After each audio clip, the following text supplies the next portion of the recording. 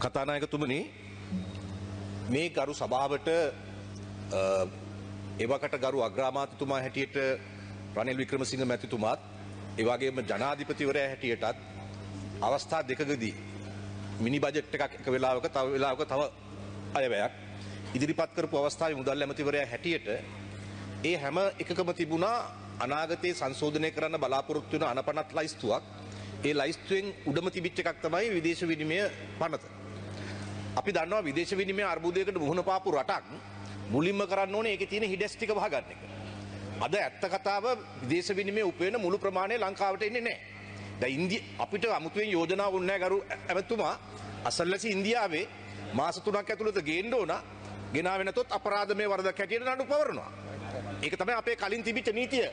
ය- යහපාලන ආණ්ඩුව කාලේ රවි කරුණානායක මුදල් ඇමතුමා තමයි ඒ නීතිය වෙනස් කළේ.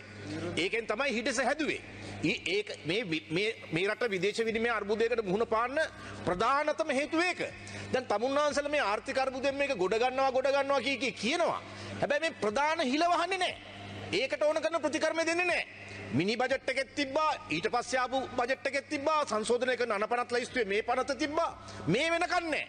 මේකට ඒ උනන්දුව නැත්තම් ඒ හිල වහන්න ඒකට තියෙන උනන්දුව අසල්ලසි ඉන්දියාවේ තියෙන නීතියගත් ගේන්න පුළුවන් ඕන උනන්දුවක් නැත්තම් අපිට අපි විශ්වාස කරන්නේ කොහොමද මේ විදේශ විනිමය අර්බුදයෙන් මේ රට ගොඩ ගැනීමේ ඇත්ත උවමනාවක් ආණ්ඩුවට තියෙනවා කියලා. ගරු මන්ත්‍රීතුමන් ප්‍රශ්නය අහන්න ගරු කතානායකතුමනි විමල් වීරවංශ මැතිතුමා යොමු කරපු ප්‍රශ්න දිහා බැලුවොත් එතුමා අපෙන් ප්‍රශ්න කරනවා මේ ආර්ථික අර්බුදයෙන් රට ගොඩනැගීම සම්බන්ධයෙන් ගන්න පියවරයන් මොනවද කියන කාරණය. හැබැයි අපි සියලුම දෙනා අ, ගරු කතානායකතුමනි මීට මාස 12කට කලින් මේ රටේ තිබ්බ තත්ත්වයක් ඒවගේම එතැන් පටන් රට ඉදිරියට යෑම සම්බන්ධයෙන් තිබ්බ ඒ විශාල අර්බුදය දැක්ක එක අත්වින්ද මේ රටේ කේද ජනකම ත්‍රස්තවාදී කණ්ඩායම් වල ගොදුරක් බවට මේ පාර්ලිමේන්තුවේ කණ්ඩායම් පත් වුණා. ඉතින් එවැනි තත්ත්වයක් ඇති නොවෙන්න මේ වෙනකොට අපි ප්‍රශංස කරන රාශියක් සිදු කරලා තියෙනවා. ඒ ප්‍රශංස කරන රාශියක් සිදු කරගෙන යද්දී කරු කතානායකතුමනි ඊට වි- ඊට අමතුව පොඩ ඉන්නකෝ. පොඩ ඉන්නකෝ පොඩක් ඉන්නකෝ කියන දේ අහගන්නකෝ ඔබතුමාට උත්තරේ දෙන්න මං සූදානම් නැහැ ඔබතුමාලා ඔබතුමාලා හිටපු. කැබිනට් මණ්ඩලය ගත්ත තීන්දුව තමයි මේ රට බංකොලොත් කරේ. මේ රට බංකොලොත් වෙන්න හේතුව ඔබතුමාලා හිටපු කැබිනට් මණ්ඩලය ගත්ත තීන්දුව ඔබතුමාලා මේ මේ ලෝකේ රටවල් කඩාවැටෙද්දී ඔබතුමා ඒ වෙනුවෙන් ගත දෙන්න යුතු ඕනේ. ක්‍රියාමාර්ග මේ ගන්න. එවකට ජනාධිපතිවරයාට ඊට නොදීපු තම නොදීම තමයි මේ රට කඩාවැටීමට හේතුව වුණේ ඒ හින්දා අද ගරු කතානායකතුමනි අපි මේ ගේන ප්‍රතිසංස්කරණ තුල මේ රටේ වංචාවක් දූෂණයක් ඇති නොවෙන්න අවශ්‍ය සියලු ප්‍රතිසංස්කරණ අරගෙන එනවා.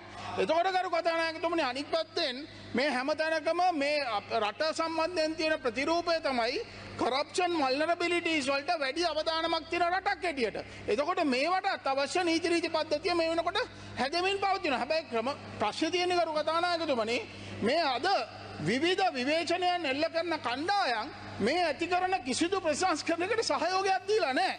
අඩුම ගානේ ඊට විකල්ප යෝජනාවක්වත් වලියක්වත් දීලා නැහැ. ඉතින් එහෙම කරන්නේ නැතුව ඒ වගේම මේ රට බංකොලොත් වෙච්ච බංකොලොත් කරන්න අවශ්‍ය කැබිනට් මණ්ඩලයේ ඉඳලා තීන්දුව තීරණ අරගෙන අද රට ඉස්සරහට යද්දී ගරු ඇමතුමා ප්‍රශ්න උත්තර දීලා නිසද්ද වෙන්න? ප්‍රශ්න උත්තර දීලා නිසද්ද වෙන්න? හරි. දැන් ඇති. ඔච්චරයි. ඔව් හර්ෂන් රාජකරු නායක- ගරු කතානායකතුමනි මේ රට බංකොලොත් වීම ගැන කතා කරනකොට දැන් මේ බංකොලොත් වීම ගැන සොයා බලන්න ඔබතුමා මේ බංකොලොත් කමිටුවක් අපි ඊළඟ ප්‍රශ්නයට යමු රව් රව් ෆකීම් මැතිතුමාගේ ප්‍රශ්නය. රව් ෆකීම් මැතිතුමාගේ ප්‍රශ්නය අහනවද? මං අහනෝ අහනවා කතානත් මොකද්ද point minister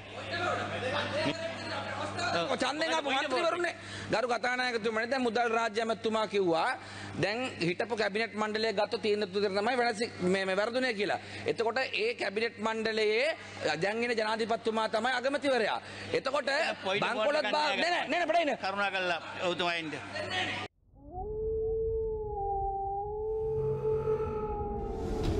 The News Reporter වාරණයෙන් තොර අපක්ෂපාති වාර්තාකරණය